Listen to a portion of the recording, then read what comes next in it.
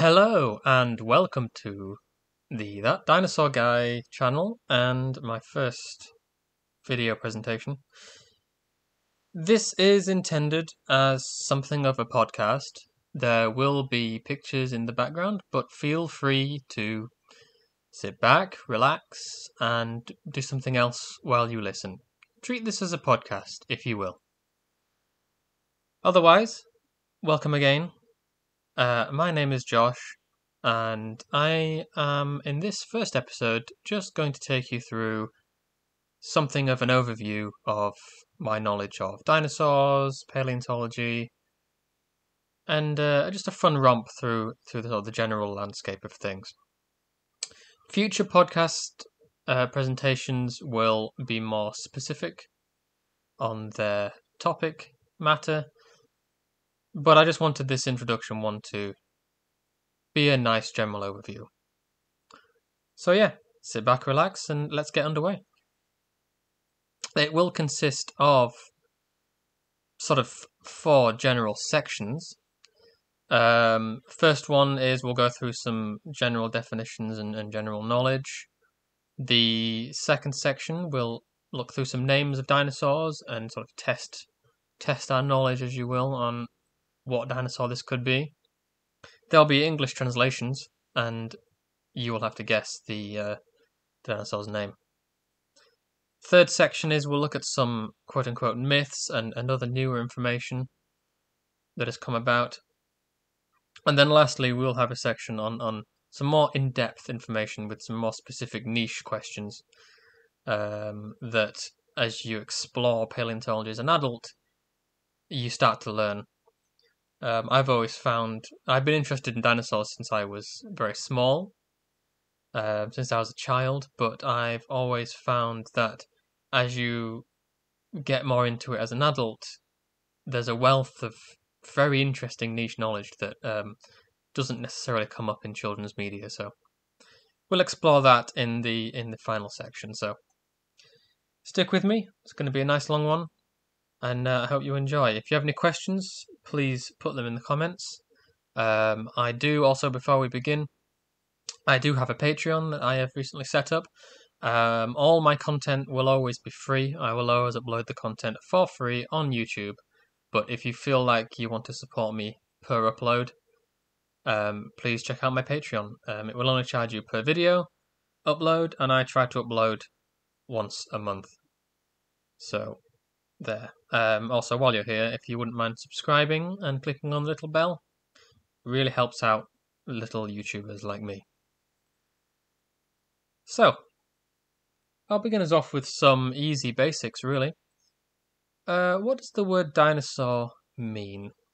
Well, dinosaur itself roughly translates as um, terrible lizard or terrible reptile. Um, it was first coined by Sir Richard Owen back in about 1842.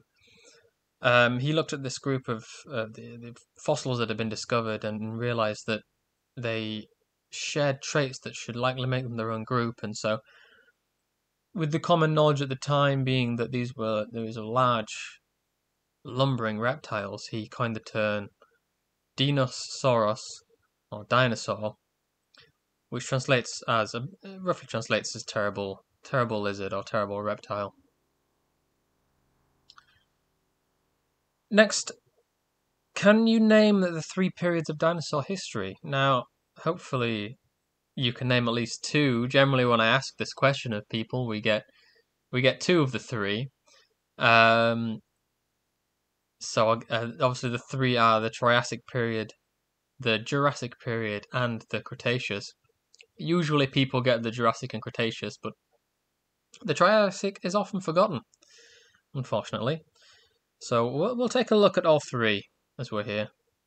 Now, the Triassic period uh, was obviously the first period um, in what's called the Mesozoic era. And the Mesozoic era encompasses all three of those previously named periods.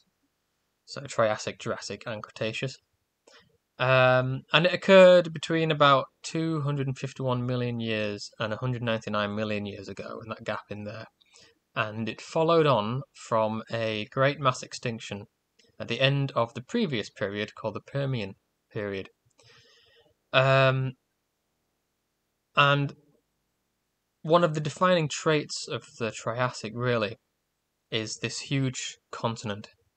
There was one huge landmass called Pangaea, surrounded on all sides by ocean, and such a large landmass gave huge seasonal variations to the um, along the coasts primarily. And it wasn't just seasonal variations in terms of time of year, but you also had huge variations between the outer outlying coasts and the inner central deserts. Now, this occurs because the oceans, water, is a great equalizer in terms of the uh, seasonal weather and the seasonal climate, sorry. And when half your planet is ocean and half your planet is roughly land, the areas in the center have extremes of temperature. And you tend to get deserts and other extremes. And deserts can be very cold at night, very cold at certain times of year, and extremely hot at others. So, um, seasonal variation was a huge trend in the Triassic period. And although the Triassic itself was the beginning of what we would term the, the dinosaur life story. It only really saw dinosaurs as a group emerging towards the end.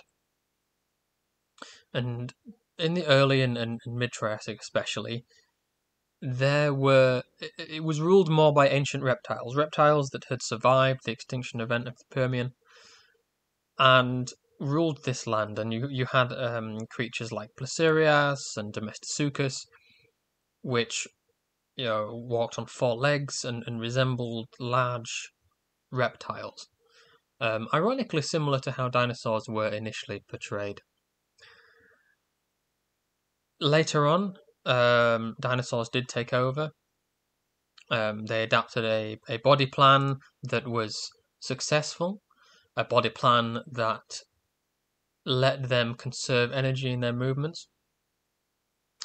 Um, and one of the main themes of this body plan was legs that sat beneath the body.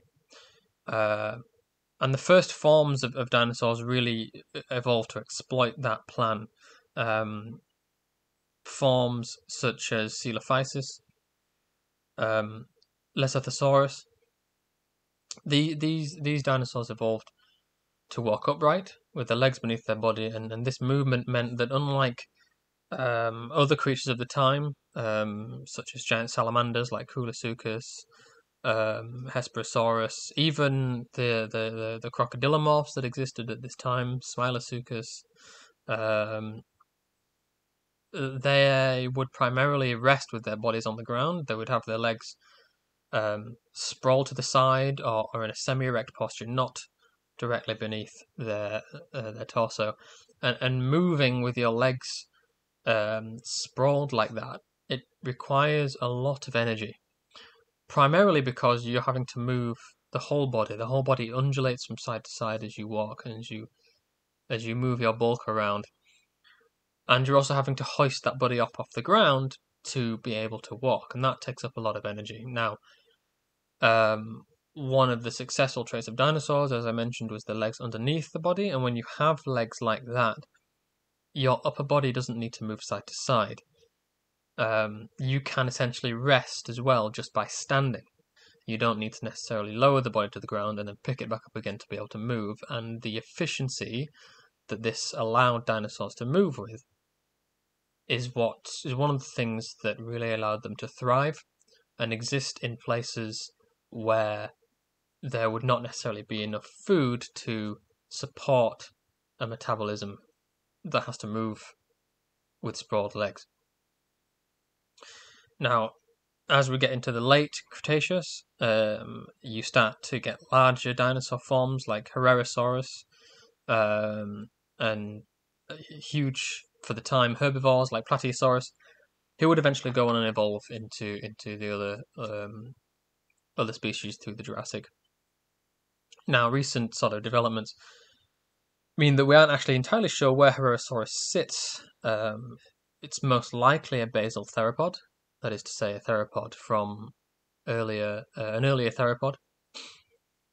Um, but that's not entirely sure. Um, in terms of Plateosaurus as well, used to be called a prosauropod, but that group, that naming of that group has sort of fallen out of favor, and, and we now call them um, uh, Plateosaurids or Plateosauroids, just because we use Plateosaurus really as the holotype for that group.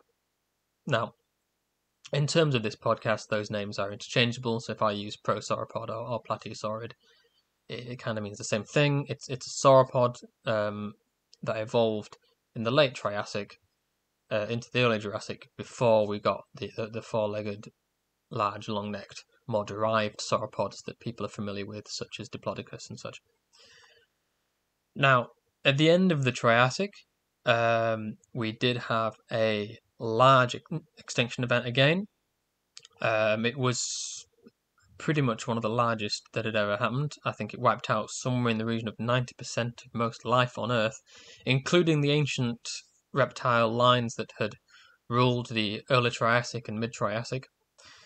This left dinosaurs with their efficient body plans to explore a wide variety of niches. And as we'll see going on, um, dinosaurs really did explode onto their own and, and fill as many of those niches as, as they could. Following on from the extinction event at the end of the late Triassic, we move into possibly one of the better well known of the two periods. Uh, the last two periods, sorry. The Jurassic. This was a time period that spanned roughly 56 million years. Um, from the end of the Triassic period uh, up until the beginning of the Cretaceous. Um, it's actually named after the Jura Mountains uh, in the European Alps, um, which is where we first found rocks, limestone rocks from, from, from that period, or identified them from the Jurassic. So, um, from the beginning of this period, what really marked it out is the fact that that large landmass, that large central landmass that was iconic of the Triassic, has begun through tectonic action to break up.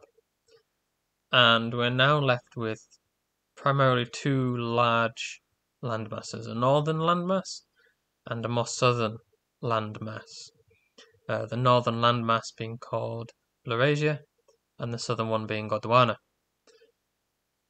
Now, as before, when I mentioned that um, the the fact there was one single landmass caused vast extremes between the outer and inner, and between seasons in the Triassic, the introduction of a breakup and the introduction of, of waterways to to the two smaller landmasses meant that the climate of these landmasses was much more stable than in the Triassic.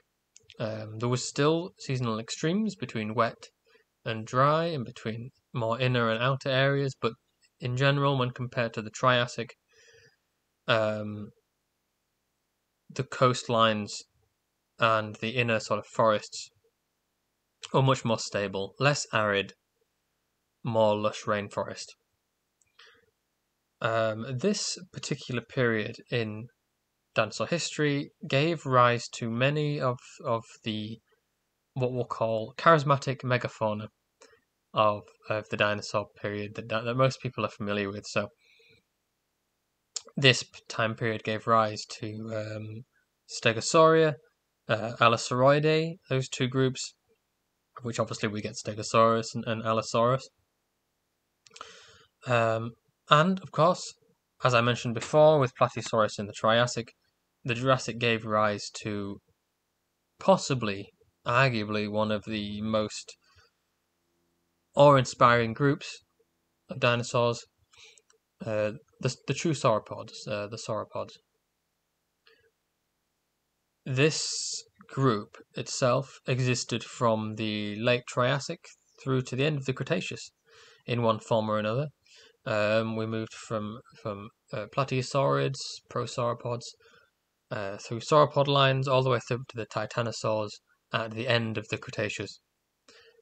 Um, and they included such forms as Diplodocus, uh, with its long body, long tail, long neck, um, up to Camarasaurus, bit of a taller specimen, um, uh, and its similar cousin Brachiosaurus, as well as huge examples like Argentinosaurus.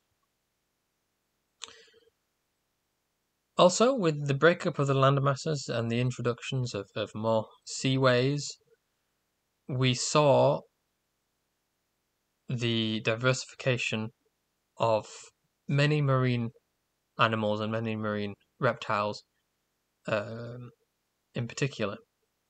So we had uh, the seas being dominated by animals like uh, Cryptoclidus, um, which is a type of, of plesiosaur. We had uh, dolphin-like ichthyosaurs like Ophthalmosaurus, um, even types of mosasaur like Liopleurodon, and of course um, the ubiquitous ammonites, which you will commonly find fossilized in areas of Dorset, Lyme Regis, and the like. The air was also filled with uh, pterosaurs, which were um, diversifying as well. Um, smaller examples like Dimorphodon, all the way up to um, larger ones as well. And these, this diversification, this this filling of niches which existed from the early Jurassic through to the late Jurassic, and on through to the Cretaceous, really cemented dinosaurs as this global powerful group of animals that, that filled all areas of, of, of life, that filled all niches that were on offer, that really showed that these animals had the capability, had the adaptability to, to, to fit into so many different areas of the world. Now, the next period, or the last period, of dinosaur history is, of course, the Cretaceous period. And this was a period that lasted approximately 79 million years. Um, there was a minor closing extinction event at the end of the Jurassic period. Um, and then, obviously, at the end of the Cretaceous, we saw the deaths of most most dinosaurs, with the uh, KT extinction event which we will talk about a little bit later. Now, the Cretaceous period saw those land masses, the, the northern and southern land masses, break up further through tectonic action, and you start to see the land masses enter their present day positions. This continued breakup further stabilized the climate and generally the Cretaceous period was quite warm. Um, well, not necessarily not necessarily as tropical as, as the Jurassic, but we did have uh, high sea levels with numerous inland seas and a relatively warm climate. Um, you know, the seas themselves were still full of ammonites and other marine reptiles, while the dinosaurs continued to dominate on land. Um, during this time, I believe, is when we start to saw the evolution of uh, avian theropods, also known as birds, as well as new groups of mammals and the introduction of flowering plants. Angiosperms began to evolve, which ushered in a new relationship between many groups of animals, but especially insects and plants, a relationship that continues to flourish to this day, that we ourselves rely upon for food and many other agricultural needs. Now, despite the small extinction event at the end of the Jurassic, um, dinosaurs continued to, di- to diversify, and we saw the rise of many, many different groups within the large groups from before. So, within the theropods, We saw the rise of the of Tyrannosaur Tyrannosauroids. We saw the rise of um, uh, raptor forms, uh, Maniraptorans. We saw the rise of Carcharodontosaurids, Spinosaurids, Abelisaurs.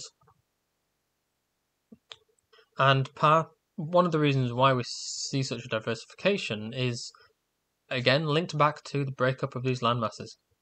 When you isolate groups of animals and landmasses away from other similar groups of animals, over long enough time periods, those two groups will become, provided they are um, exposed to different conditions, you will have them evolve into different groups that eventually become their own species. Um, the islands of the island of Madagascar in modern time, as well as the Galapagos Islands, host many examples of animals with the same ancestors who have diversified and become their own genus. Um, so this happened in herbivores as well. We had ankylosaurs and nodosaurs, uh, marginocephalians like Pachycephalosaurus, Chasmosaurus, that sort of thing. Your hadrosaurs and your ornithopods all diversified out as well.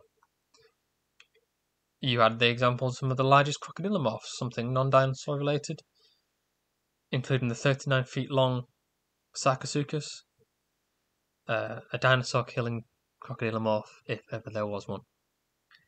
And if you ever get a chance, I might recommend that you visit the Natural Museum of Nat- National Museum of Natural History in Paris, where I believe they still have a 12 meter long Sarcosuchus fossilized skeleton. Well worth a look. It's uh, it's huge. Obviously, at the end of the Cretaceous period, we had the um, extinction event, the KT extinction event, which would wipe out most forms of life over around, I believe, between 6 and 10 kilograms. So the large megafaunal examples of dinosaurs and uh, crocodilomorphs and other animals like that, pterosaurs, marine reptiles, would all go extinct at the end of this, but dinosaurs themselves would live on in uh, derived avian theropods. Aves, birds. So, we'll on to our next question. What killed the dinosaurs? Now, there are sort of we know there was an asteroid impact. Let's let's get that out of the way. We know that an asteroid struck our planet around 65 million years ago. We have the crater, we have the, the evidence of iridium. There's a layer of rock um, above which there are no dinosaur fossils, below which there are plenty of dinosaur fossils from the Cretaceous. And there is a layer of rock that is seeded with iridium, um, as well as um, other elements from that are only found in asteroids. Iridium itself is an incredibly rare terrestrial element, but is found more commonly in asteroids. And this layer of iridium combined with the crater gives us a good idea that 65 million years ago our planet was struck by an asteroid. Now, the two sort of competing theories per se are this that had the first one been the silver bullet, and had this asteroid not struck the Earth, it is theorized that the dinosaurs would have continued to evolve, continued to diversify, continued to fill niches. Lions would have died out, lions would have arisen, but that this asteroid was the thing that killed them off, or killed off most forms, I should say. The quote unquote competing hypothesis is that the asteroid was the final nail in the coffin. And that through a combination of other factors, be it climate change from the continued breakup of the uh, tectonic plates, through to volcanic action in places like the Deccan Faults, through um, competition and loss of young from, from evolving mammals and that sort of thing, that this the dinosaurs were on on their way out, so to speak, that they were beginning to decline and that they would have gone extinct at a more leisurely pace, but would have gone extinct regardless, and, and new lines would have risen to replace them. And that the asteroid really was was the final blow that, that sealed the fate of of um, of most dinosaurs. Now, on a very personal note, through my own studies, obviously I'm just a, a, hobby paleontologist, but through my own studies and my own thoughts on this, my gut feeling is the, the silver bullet hypothesis.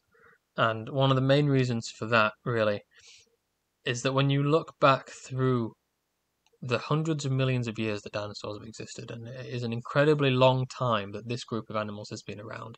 You know, two things that put it into perspective for me is one, that Tyrannosaurus itself, 65 million years ago, 66 million years ago, is closer in geological history to the invention of the iPhone than it is being clo- uh, uh, closer to the existence of Stegosaurus. And the second one along that line is that when the Cretaceous period rolled around, um, species like Stegosaurus were already fossilized in the ground. And so, were there dinosaur paleontologists, they could have come along and dug, and dug him up as well it really gives an expanse as to how long these animals existed for. And time and time again, through their existence, they've proven themselves to be highly adaptable species. They have lived through extinction events, they have lived through the breakup of, of plates, they have lived through so many events and have adapted and filled niches, and lines have gone extinct, but other lines have arisen, and, and, and they've always survived. Um, and when you look at an asteroid impact, it's an event that really no animal can knowingly adapt for. And so it wasn't just dinosaurs that went extinct during this. Um, it was a significant chunk of Mesozoic life that died out in the KT extinction event. And so I think it's wrong, really, to say that dinosaurs were on the way out for any other reason. Um, and even if even if the asteroid had not hit, and even if um, they'd seen a drop in diversity through other actions, tectonic action, volcanic action, changing climates, etc., I still think we would have seen them bounce back through a minor a minor extinction event, and you would have seen more lines emerge.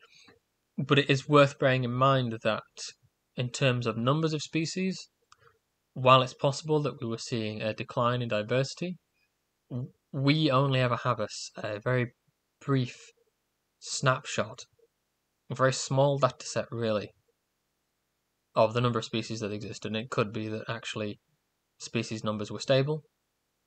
Um, we just we just don't know. But that's my personal take. Um, as evidence comes out, obviously, perhaps that will change. I'll move on to a different uh, a different question now. What is the study of prehistoric life and what are the remains that are studied called? Now, obviously, the study of, of prehistoric life is paleontology. It's my hobby, it's my passion. Um, perhaps one day it will be my job. Perhaps one day it will be your job. Perhaps it is your job. Who knows who's listening to this? And if you are a paleontologist and you're listening to this, that's off to you. Give a shout out in the comments. I'd love to hear from you. In terms of the um, remains that are studied, as many people will know, these are called fossils. And there are, in basic terms, five types of fossils that we can we can study and we can find. Um, we have, of course, amber. So this is preserved insects, preserved plants, preserved parts of animals, sometimes preserved birds that have been enveloped in tree sap that has since fossilized, hard, and preserved the animal within. Uh, famous, made famous, of course, in Jurassic Park, um, scientists extracting blood from mosquitoes fossilized in amber. The second way is petrification, and so things like petrified wood or uh, permineralization is also called. You also find cast and mold fossils, where the impression of the animal has been filled in by other substrate. Um, we have pyritized fossils, so the replacement has been under, undergone by metallic elements such as iron. And then lastly, you have um, compression fossils. Okay, so the next part of this, and I will show pictures on screen for those watching. But if you're not watching, if you're using this as a podcast, I'll just describe the animals to you. Is let's cover is this a dinosaur? Now, when you get packs of dinosaurs or sort of very generalist dinosaur media, be it children's media or not, often there are many animals that are included in those that aren't actually dinosaurs. So, the first example of this, it's got a very long neck. Um, you know, got a little bit of a, a sort of a barrel-shaped, dumpy body. Might have a short tail, four flippers, and a small head at the end of that neck, often with needle-sharp teeth. Is this a dinosaur? Now, no, this is not a dinosaur. This is what would commonly be called a plesiosaur. Um, it is a marine reptile, and so they um, this particular example is Elasmosaurus, but they split from Dinosauria, or what would, they split from what would become Dinosauria um, earlier back in, in, in history. So they're off, they're often confused for dinosaurs, but one of the key takeaways really here is that they spend their life, um, majority of their life in in water, so they are not dinosaurs. Now the second animal here, it's smaller. Um, it has what looks like a beak or a bill. It has membranous wings um, that come off the finger and it has three little fingers sort of halfway up the wing. Is this a dinosaur? Uh, it's a pterosaur, and so the answer for this is no. This animal is not a dinosaur. Um, the particular one I'm looking at is Tapejara, but um, any kind of kind of pterosaur is not a dinosaur. They spend the majority of their life on the wing. Again, just like um, marine reptiles, they separated earlier on and although closely related and often included in um, the old pack of dinosaurs, they are not themselves dinosaurs. They are a separate but closely related group. Uh, next one, which is, is quite a, uh, a common one to find in, in generic Paco dinosaurs, uh, looks like a Komodo dragon with a sail on its back. Uh, I'm, of course, talking about Dimetrodon here. And again, this is also not a dinosaur. Um, now, it's this existed before dinosaurs had even evolved. It's a type of ancient reptile, more closely related to mammals than it is to dinosaurs, um, because it is a synapsid. Um, they have a synapse. We have a synapse. In very basic terms, it, it's more closely related to us than than dinosaurs. Um, it it was still a wildly successful animal. Um, it was an apex predator, um, but it went extinct um, before dinosaurs had ever appeared on the scene. So, not a dinosaur, though an equally fascinating animal nonetheless. Now, the last one, uh, the last animal, walks on two legs, has its legs under its body, has two long arms with large claws on the end, uh, kind of looks like a big feathery sloth with a bit of a bird head on it. Um, if you can't guess from that description, this is a Therizinosaurus, and despite looking particularly weird with regards to typical members of this group, it is actually a theropod. So it is a member of the same larger family that Tyrannosaurus and meat all the meat-eating dinosaurs fell into. Um, it is a dinosaur, in fact. It has the the anim- the legs underneath the body, which is characteristic. It lived on land, which is characteristic. Um, this particular example of uh, is an interesting one for theropods because it is a herbivorous theropod. It is thought to eat plants using its large claws to gather plant material. Um, probably were also a fearsome defensive tool nonetheless. So, what can we learn from these four examples? Dinosaurs had their legs beneath their bodies. Um, dinosaurs lived primarily on land, um, would stand upright, uh, and could not fly, at least not yet. When it gets into the idea of birds, um, becomes a bit more blurred but birds evolved from dinosaurs, and so from from by extension, birds are dinosaurs. Whereas groups like pterosaurs and you know mammals like bats are different lineages entirely. So, uh, this next section is all about dinosaur names. I will, for those that are watching, there will be um, silhouettes on the background, but that's not necessarily necessary. Necessarily necessary. I will read the name out in terms of the English, approximate English translation. Let's see what we know about the names, shall we? So this dinosaur's name means big armed lizard. It is, of course, Brachiosaurus. Or probably more accurately these days, Giraffatitan, but we'll put that aside for a moment. Um, big armed lizard refers to the fact that this sauropod, its front legs, or its arms, were longer than its back legs, which is unusual for most herbivorous dinosaurs, most dinosaurs in general. Um, but in these types of sauropods, where the, the, the neck and the head would be lifted off the ground and held high on the shoulders, the front legs were longer than the back legs. Tyrant Lizard King, one that I think most people will get, is of course Tyrannosaurus rex, rex being the key king part of that name. Not much real to say on T Rex, a large carnivorous theropod. Um, debates going on as whether it had lips and feathers. Personally, I would think that as an as it grew, it probably started off more fluffy and feathery, and then as it grow grew larger, it would discard the metabolic feathers um, because it was large enough that it wouldn't necessarily need them anymore. Um, as for lips, I think there's a good probability that there were lips. There were holes along the jaws that would um, show that there there was possibility for, for blood vessels there to support lips. Um, but actually, that's something we'll talk about towards the end, so I won't cover too much of that now. Terrible Claw.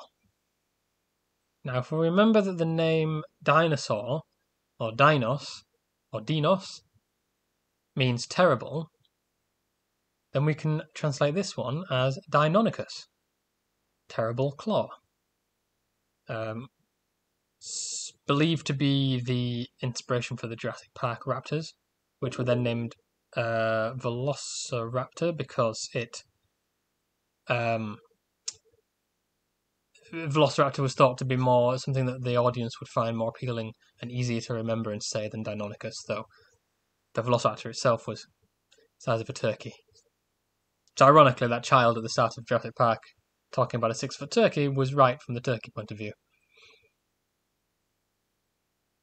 Three horned face, favourite amongst many children and a widely used dinosaur in, in many children's media. Could take three to mean try, tricycle, Triceratops. There he is in all his glory. Three horned face. What can I say? Absolutely huge, famous dinosaur. Um, wonderful ceratopsian, very large, sort of prime example of, of them. Interesting the fact that its frill although probably still mostly used for, for display, its frill was solid bone. There were no holes in its frill.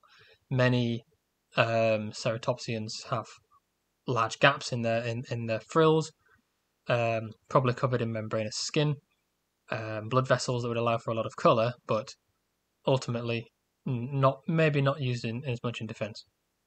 Triceratops, perhaps a slight deviation from that, with having a solid bone frill.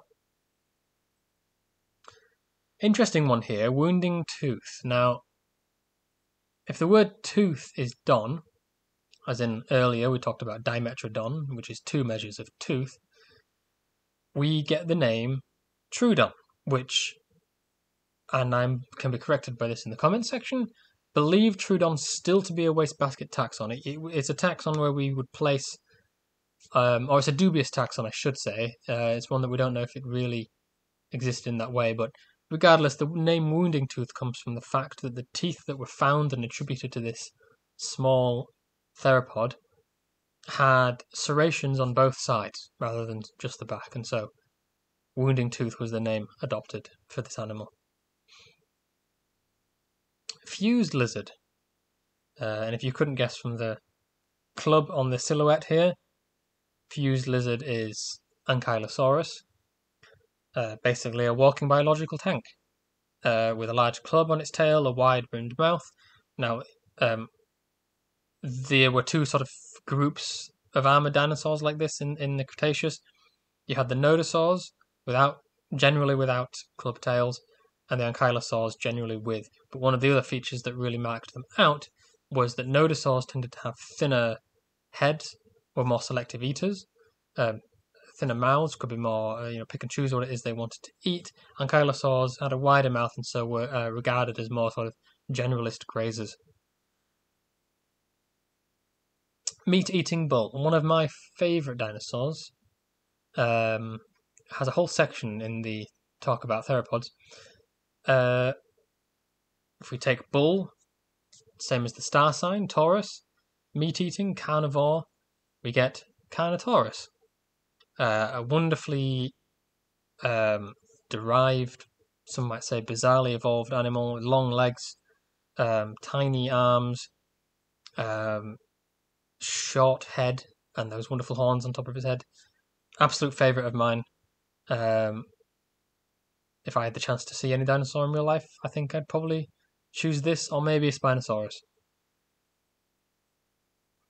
Double crested lizard. Now, this one's famous in Jurassic Park, but for probably all the wrong reasons.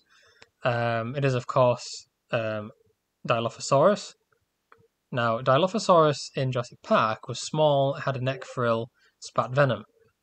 The actual example wouldn't have fit in your car. Um, probably could have got its head in, and so Nedry probably wasn't quite as safe. Probably would have still met a very similar end, but needless to say, the actual animal, uh, when fully grown, was much larger. It didn't have the neck frill, and as far as we're aware, had no glands or capability to spit venom. It did keep the notch at the front of its mouth, which is a, I believe, a callback to earlier Coelophyses, which also had the beginnings of that notch. It's where the, the maxillary bone on the upper jaw um, attaches to the premaxillary. Um, it's a reoccurring feature in several species, even unrelated ones, um, and also pops up again in, in Spinosaurs.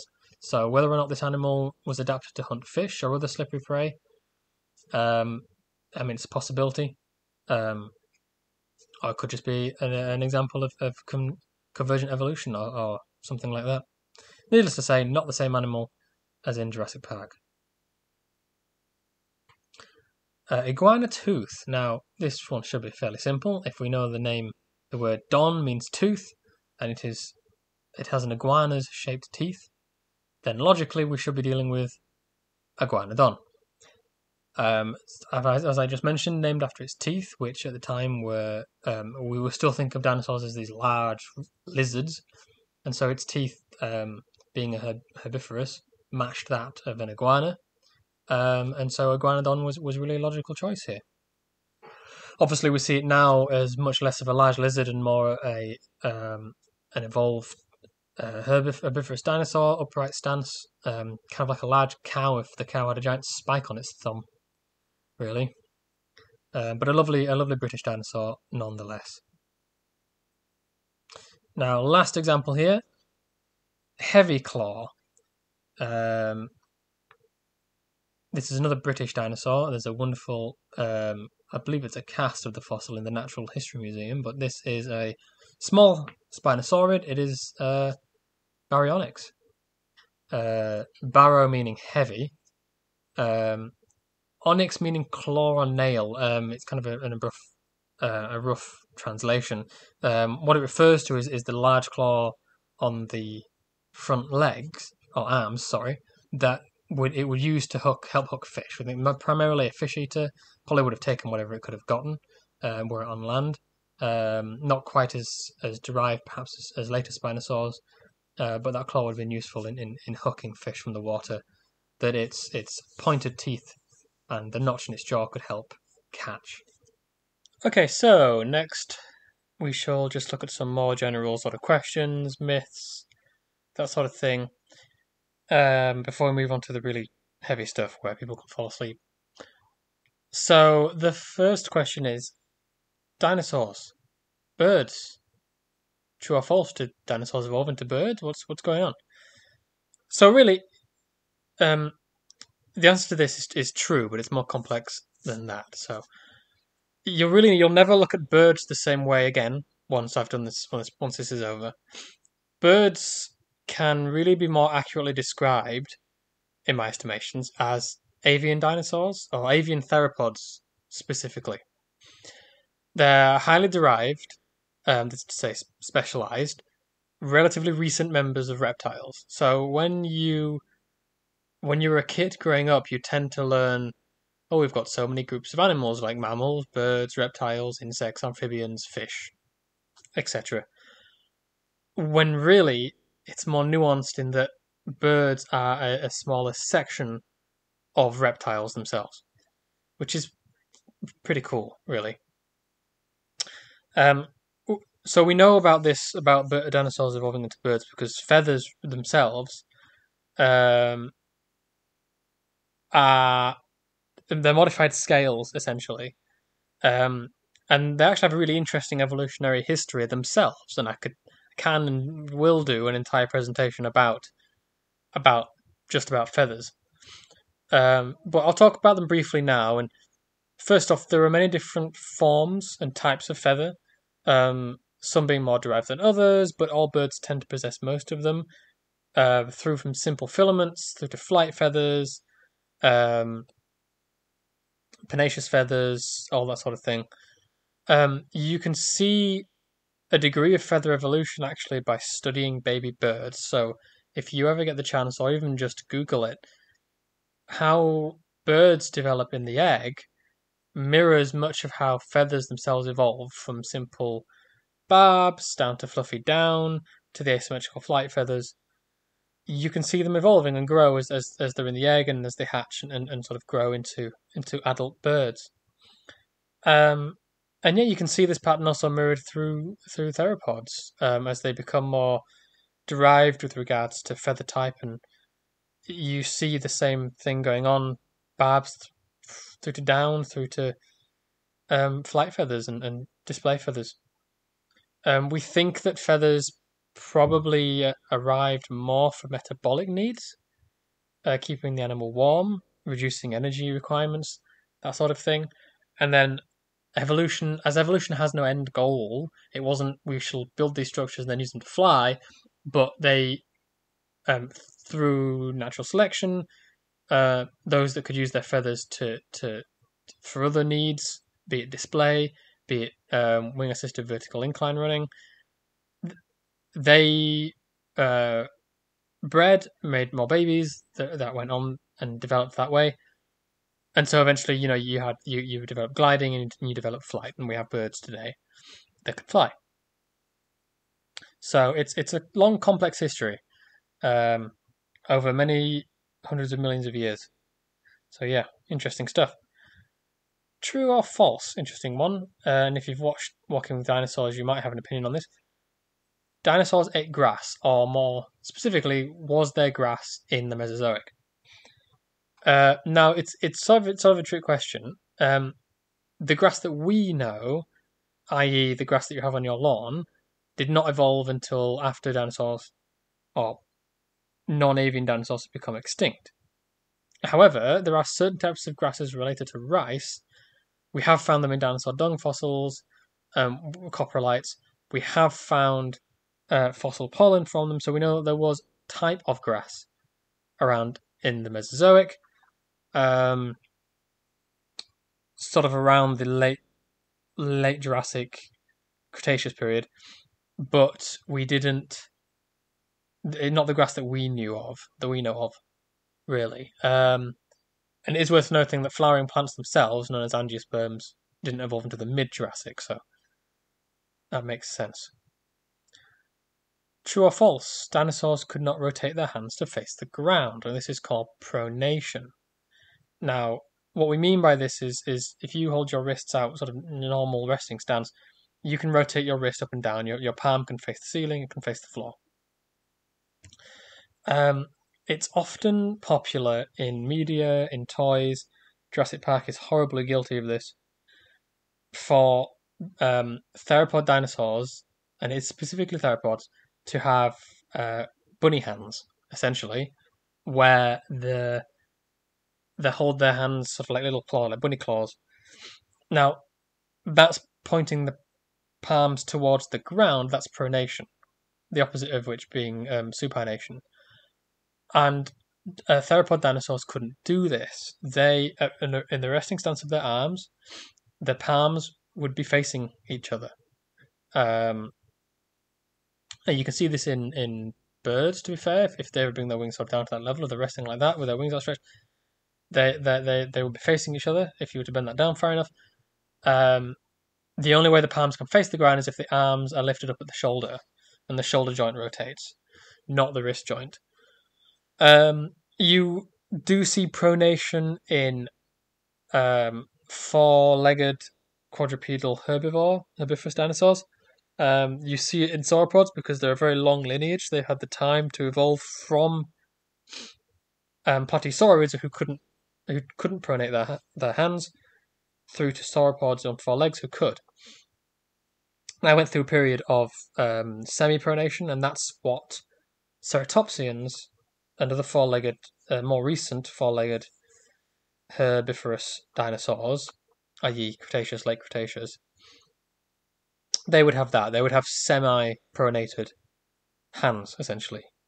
Um, had they lived long enough to evolve, had they not been made extinct, it's highly probable that you would see the descendants of uh, ceratopsians have pronated hands in much the same way that um, sauropods did. So even when you look at a sauropod skeleton, um, those hands there are not pronate, uh, not facing the ground. It's, it's, it's so the palms are facing the ground, um, and they walk on like a fleshy a fleshy pad. The palms aren't facing each other. Uh, so here's a, here's an interesting one um, that is quite a recent thing and is always coming up, which is really interesting and exciting, really, from my point of view. I've been someone who's been interested in dinosaurs since I was very little. We will never know the true color of dinosaurs, true or false. Now, until fairly recently, this would have been true. We would never have known that, we, or never would have really been able to confidently be able to say what color dinosaurs were. However, we found an example of, of a few dinosaurs, and I've got examples here. Anchiornis.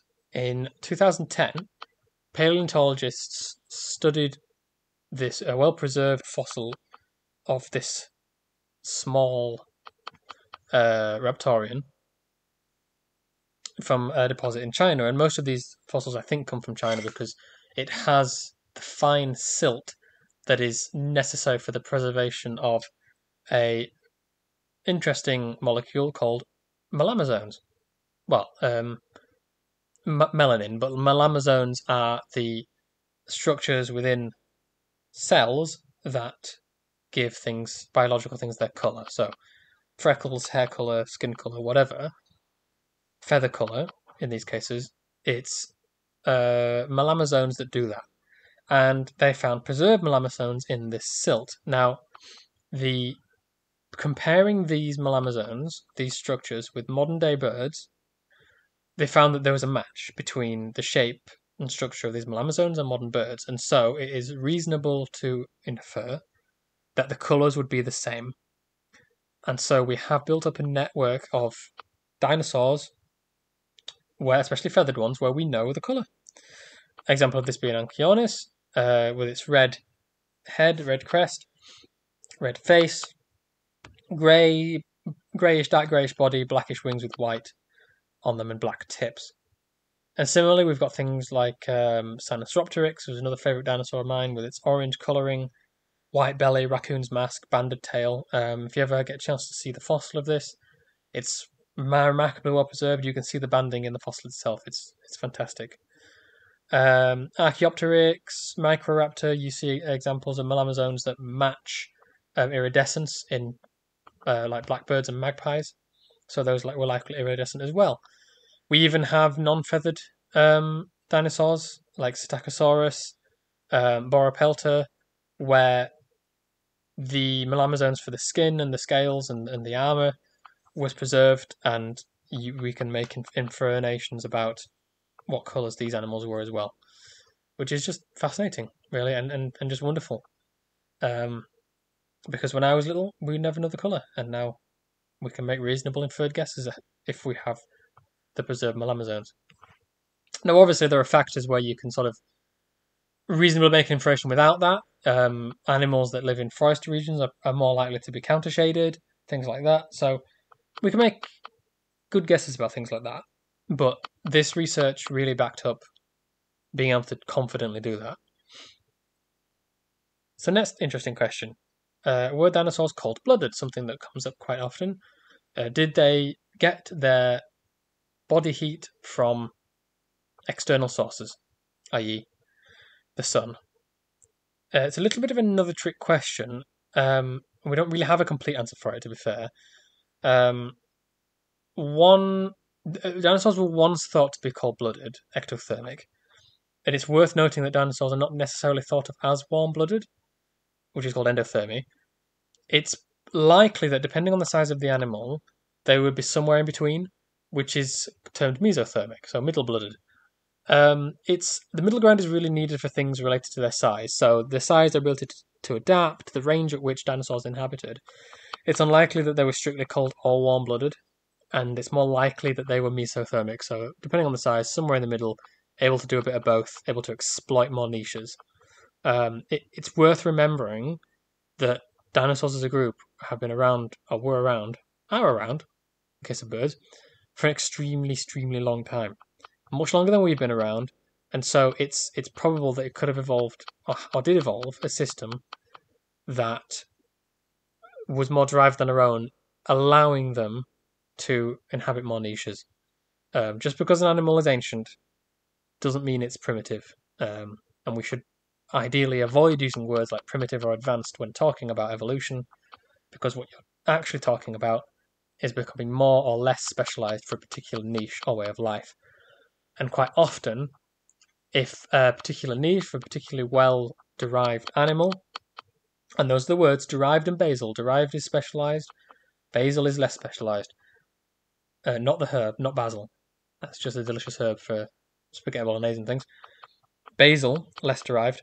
A less derived animal is if a, a highly um, derived animal is adapted for a particularly small niche, and something changes in that niche and they're no longer able to, to live in that niche, it is the basal, the less derived animals, quote unquote, primitive, that are more likely to survive because they are more generalist, they're more likely to, to be able to, to survive than something that's incredibly specialized. So it's worth bearing in mind that primitive and advanced are not suitable terms really to be using when talking about um, evolution. So, dinosaurs. Oh, we're into the tough stuff now, by the way. Um, I say tough, tougher. so bear with me. Um, feel free to fall asleep. That's fine too. Um, dinosaurs. Whether or not this still is a, is a useful measurement is up for debate, but dinosaurs can roughly be divided into two groups based on hip type. Now, the two groups are in English terms uh, lizard hipped and bird-hipped dinosaurs, which translates as Saurischian and Ornithischian. So saw, lizard, ornithy, birds. Now, what's interesting, and sort of um, a throwback to when we didn't know the link between dinosaurs and birds, is that the bird-hipped dinosaurs incorporates those dinosaurs that didn't evolve into birds. So we're talking about um, uh, your herbivorous dinosaurs, your your your Thyreophorans, Marginocephalians, um, Ornithischians, uh, Ornithopods, all of those dinosaurs.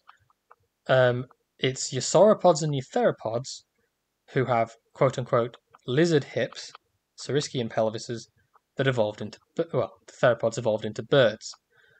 The reason this is, is because it's a, it's a strange case of, of how the hips have actually evolved where the Ornithischian pelvis looks like a modern day bird pelvis, but it's the Saurischian pelvis that evolved into that.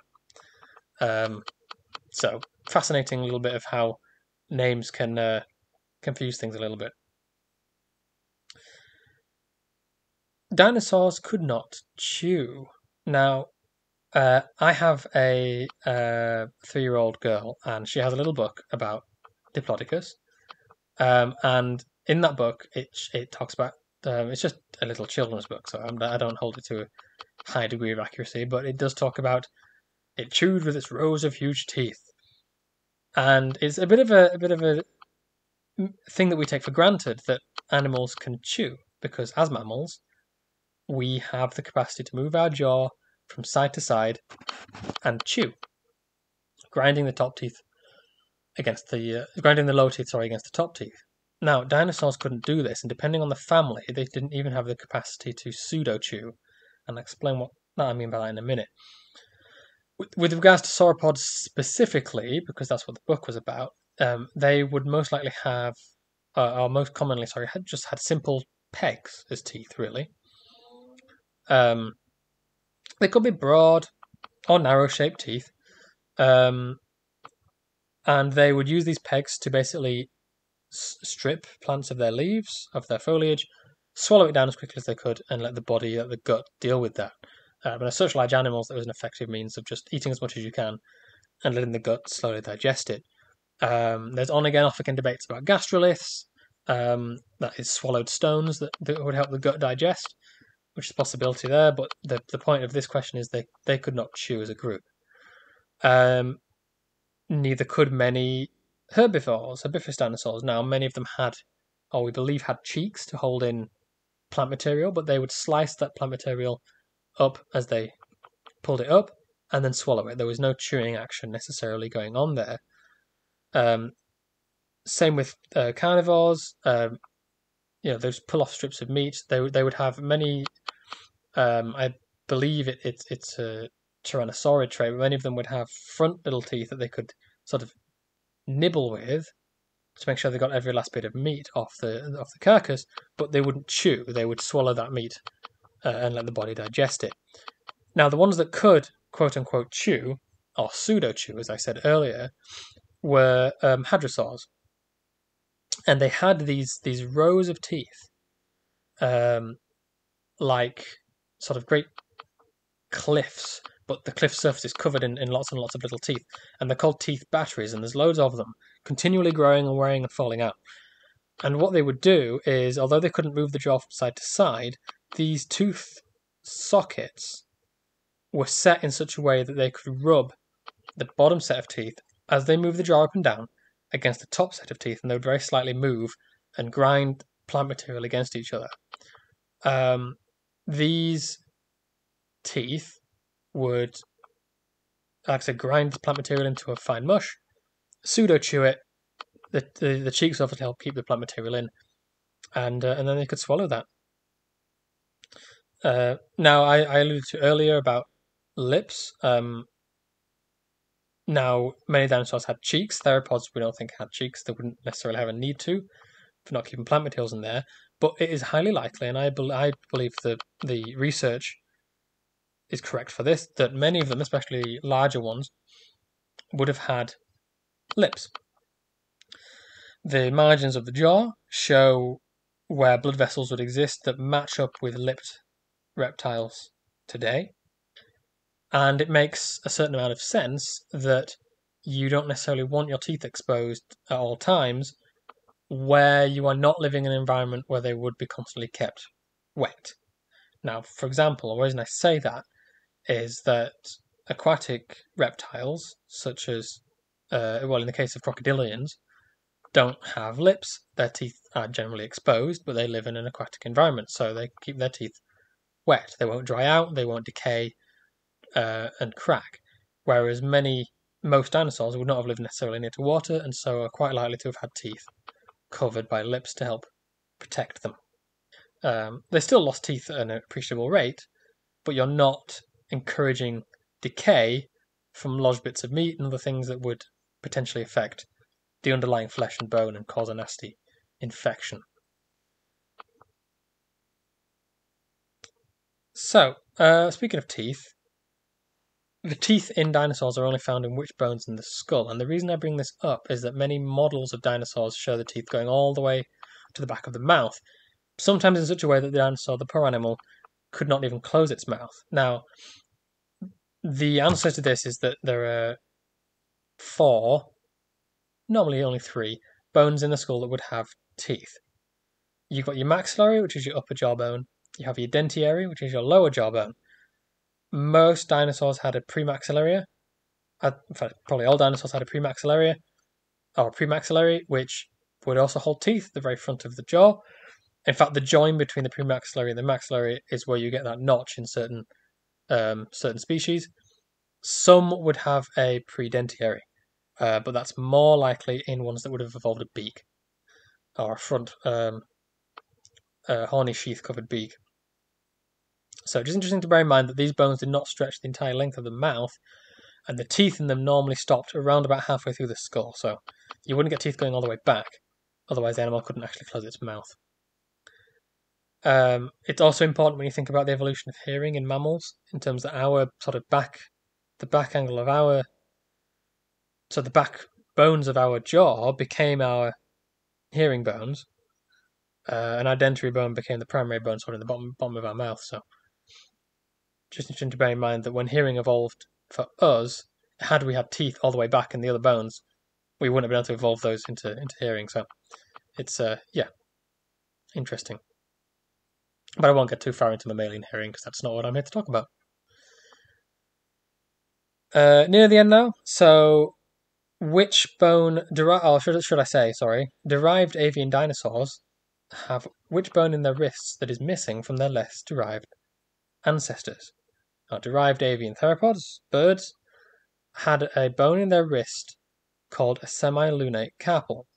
And what's interesting is if you follow the evolution of the, the wrist bones, so the carpals, from Heterodontosaurids, um, Herrerasaurids, all the way through to modern day birds, you can see how the semilunate carpal, this little this little semi half moon shaped bone, becomes basically the primary, if not sometimes the only real connecting carpal bone between the um, the wrist and, and the rest of the arm.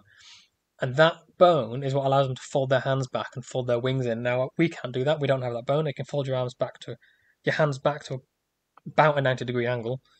Um, you fold it sideways as a bird would, but they can fold it all the way back. Allows them to fold up their wings, tuck in their wings, keep them protected. Um, and there's one bone that's responsible for that. It originally was two separate bones that, as you look through the evolutionary history, combined together, fused together to become this one uh, half moon shaped bone. It's quite prominent in Deinonychus, um, uh, and, and and more so in birds. So fascinating bone. Uh, last question here, uh, and really the last question of this talk. Dinosaurs walked upright. Their weight is balanced on their toes. What is this form of locomotion called? And I ask this one again because sometimes in media you see it's it's common to see down, down um, potentially common to, to sort of think of dinosaurs as walking on their their feet like we do, having a heel, but they don't. What they walk on is called digitigrade, and it's because they're walking on their toe bones. That whole bit that looks like a foot, that looks like they have a heel, that's just their toe bones, very long toe bones. Their heel is probably about halfway up the leg. Um, it's that first joint in the leg that looks like it's their knees bending backwards, that backwards bending knee. That's the rank. That's their uh, heel. That's their ankle. Um, that's that's where that's where that fits in. Their knee is much further up, um, whereas in us, it's obviously we've only got it's really got one joint in the actual leg. Their knees further up. Um, the sort of more specialized version of this is called unguligrade, which is where it's, the, it's just the very tip. It's the nail of the toe that you're walking on. Um, things like cows, horses, that sort of thing. Um, evolution of those is also fascinating, um, highly specialized as well. So worth looking into. But um, and for the record, what we walk on, where we walk on the, on our ankle essentially, our heel, is called plantigrade, um, which carries its own benefits and, and downsides. So, um, thank you very much for listening if you're still with me. Uh, if you are still with me, I would love to hear from you. Please drop comments. Please like and subscribe, hit the bell, all that good stuff. As I said at the beginning, I do have a Patreon. Um, all my content will be free. I will always release it free on YouTube on this channel. But if you are interested in supporting me, maybe getting some extra goodies, you can vote in polls, uh, that sort of thing. Please do consider giving my Patreon a look. It is highly appreciated. And until next time, I wish you uh, a happy good happy day, good evening, good morning, whatever time of day it is for you, and yeah, have a good one.